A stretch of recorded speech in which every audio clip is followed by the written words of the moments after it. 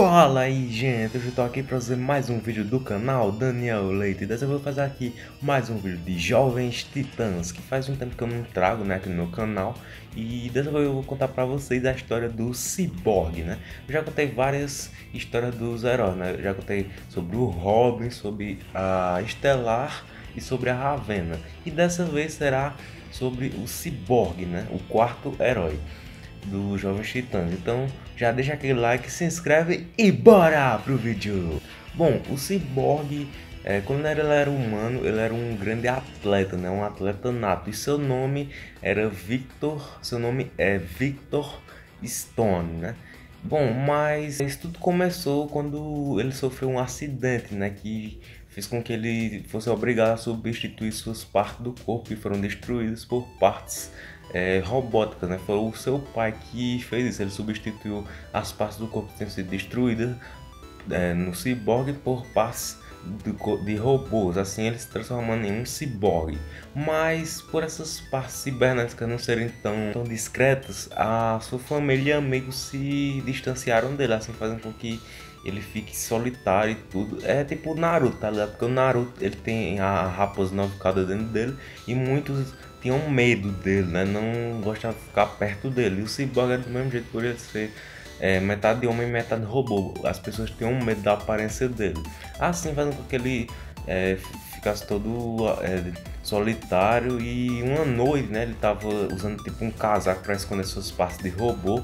Assim ele vai ao encontro dos jovens titãs, né? Porque aqui naquela noite a Estela apareceu lá, aquela treta que eu já expliquei para você, né? A Estela apareceu na Terra, aí o Robin, o mutante tava lá lutando contra ela, aí chegou o Cyborg para se juntar e a Ravena também, aí eles conseguiram salvar a Estelar e tudo, aí viraram heróis, né? Eles, eles se juntaram, se tornaram uma equipe, se tornaram os jovens titãs. Assim, o Cyborg construiu, ele, tipo, ele deixou de ter medo da, de mostrar o seu rosto, né? Porque os titãs eram todos extremos, né? Tipo, o Mutano é verde, a Ravena é filha do Trigon, um demônio interdimensional, e a Estelar é um alienígena. Então, o Cyborg, metade homem, metade robô, eles não iam se importar, né?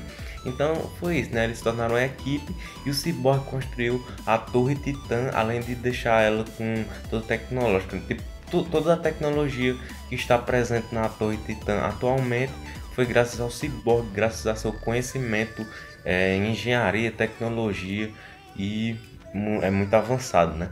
É, e é isso, né? Ele permaneceu na equipe, no qual a terceira temporada da série dos Jovens Titãs foi a que mais ele se destacou, né? Por causa do irmão Sangue. O irmão Sangue era tipo o professor dele só que por ele ser mal, o Cyborg deixou de ser seu aluno, mas o, o, é, o irmão Sangue se interessava no, na tecnologia do Cyborg, né?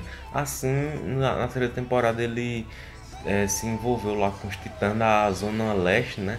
E o Cyborg teve que ir lá ajudar ele, né? Porque aquele irmão sangue, tipo, ele é o arco inimigo do Cyborg, então o Cyborg teve que ir lá investigar, né? Uma missão para salvar os titãs da, da Zona Leste, né? E deter o irmão sangue. Tipo, quase que ele fica lá, né? Os titãs da Zona Leste. Por quê? Porque aqui o Cyborg, ele não gosta que mandem nele. Tipo, o Robin era o líder dos Jovens Titãs. E ele, o Cyborg ele não gosta de, de ter alguém que, que, se acha superior a ele e mande nele. Então, como ele estava lá, lá, na Zona Leste, né, nos Titãs da Zona Leste, ele não tinha um líder específico. Então, o Cyborg ele se tornou o líder deles. Assim, ele teve habilidade, mostrou suas habilidades de liderança, né? E quase ficou com eles. Mas, claro, ele não ia abandonar seus, seus velhos amigos Jovens Titãs, né? Então, depois da missão, depois de derrotar o Irmão Sangue ele voltou para os Jovens Titãs. Bom, há outras histórias né, de, é, da DC que contam que o Cyborg ele foi para a Liga da Justiça, né? Ele participou da equipe do, do Superman, da Mulher Maravilha, Batman, essas coisas, né? Mas a gente tá aqui para falar do Cyborg dos Jovens Titãs, né?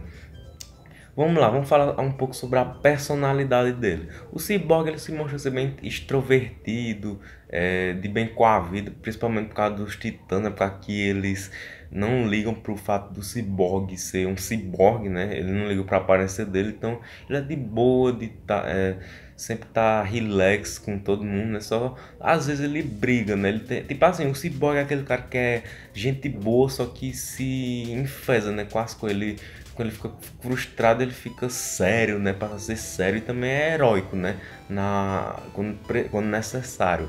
É, e, tipo, ele tem uma grande habilidade de proteção, tipo, ele consegue proteger os seus amigos né, na hora certa, ele não abandona, não abandona nenhum deles, ele se preocupa de verdade com seus amigos, do fundo do coração, né? ele é um verdadeiro herói, é, mostrando isso.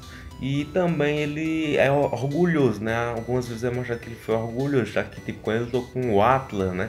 O Atlas que é tipo um robôzão e tudo, aí o Cyborg ele não aceitava perder pra ele, né? Ele tipo, nunca desistiu, ele, é, tipo, ele tem um pouco de Goku dentro dele, porque aqui ele tem esse negócio de força de vontade de nunca desistir e tudo, né? Isso fez com que isso é, foi isso que deu força para que ele conseguisse derrotar o Atlas, né? Então, tipo, é, ele tem esse um pouco de egocentrismo, né? Até porque quando ele construiu o carro dele, né? Ele também não deixava ninguém mexer, né? Ninguém eh, podia mexer no carro dele, era todo. É, era todo protetor do carro dele, porque ele, ele, ele, ele acha que a tecnologia dele é a melhor do mundo, então ele tem que cuidar dela bem direito, então ele tem esse, essa personalidade meio de se achar, né, e tudo mais. Enfim, ela é um personagem legal. É, agora vamos falar sobre seus poderes e habilidades, a parte mais legal, né? Tipo, o Cyborg ele não tem nenhum poder real, mas graças à sua tecnologia, às suas partes de robô, ele ganha algumas habilidades, como por exemplo, ele tem uma pele durável, super durável, né? Ele tem uma grande resistência ao frio, calor extremo e até mesmo a profundo para pressão do mar, né? pressão da água do mar.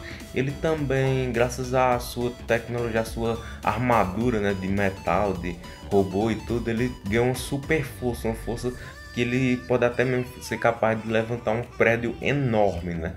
Ele pode até mesmo aumentar essa força, né? Como mostrado na luta que ele teve contra o Atlas, né? Que ele conseguiu superar a sua força, né? A habilidade do Goku de ter força de vontade. E, e graças à sua tecnologia, né? Ele também tem algumas armas, acessar algumas armas, como por exemplo o seu famoso canhão sônico, né? Que ele pode disparar do braço, ele, tipo, ele transforma o braço dele em canhão, aí dispara uma, uma rajada sônica. Ele também pode, é, a partir do seu dedo, né, da sua mão, eles podem criar algumas ferramentas, né, alguns acessórios e tudo. É, ou até mesmo ele pode disparar mísseis né, dentro dele, dentro do corpo dele, do, das botas dele. Ele pode disparar os canhões sônicos e tudo. E ele mostrar também poder voar, né? Queria meio que um umas asas assim nas costas dele, assim pode voar ou planar, né? Mas ele usou isso apenas, ele usa essa habilidade raramente, né? Ele quase nunca voa, ele voa mais com a ajuda dos seus amigos, né? Do, do Mutano, o Mutano se transforma no Pterodactyl, ele leva o Cyborg e também a, a Estelar, que é muito forte, ela consegue carregar o Cyborg, então ele não usa muito essa habilidade de voar, porque ele, ele na verdade nem precisa, porque ele tem um super salto, ele consegue dar um super salto também, né?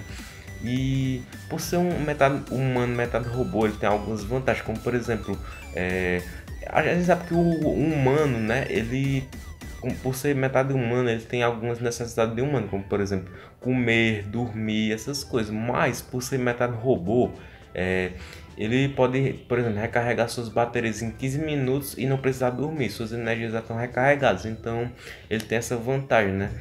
É, de não precisar, é, tecnicamente não precisar dormir, né, na hora certa. Então, o Cyborg ele é um herói bem legal, né, dos Jovens Titãs. Eu gosto dessa habilidade dele de tipo ter controle de máquinas e tudo, ter é, toda essa tecnologia dentro do próprio corpo dele. Ele em si é a tecnologia que ele usa, né? Então, eu achei ele bem criativo. E esse é o vídeo, né, galera? Esse foi o vídeo. Espero que vocês tenham gostado. Se gostaram, deixa aquele like, se inscreva no canal se não for inscrito, compartilhe esse vídeo com seus amigos, adicione os favoritos e ative o sininho aí embaixo para receber as novas notificações, beleza? E próximo vídeo vai ser sobre o Mutano, né? O quinto herói. E depois vou é, falar sobre outros, outros personagens dos Jovens Titãs e tudo. Então é isso, falou e tchau!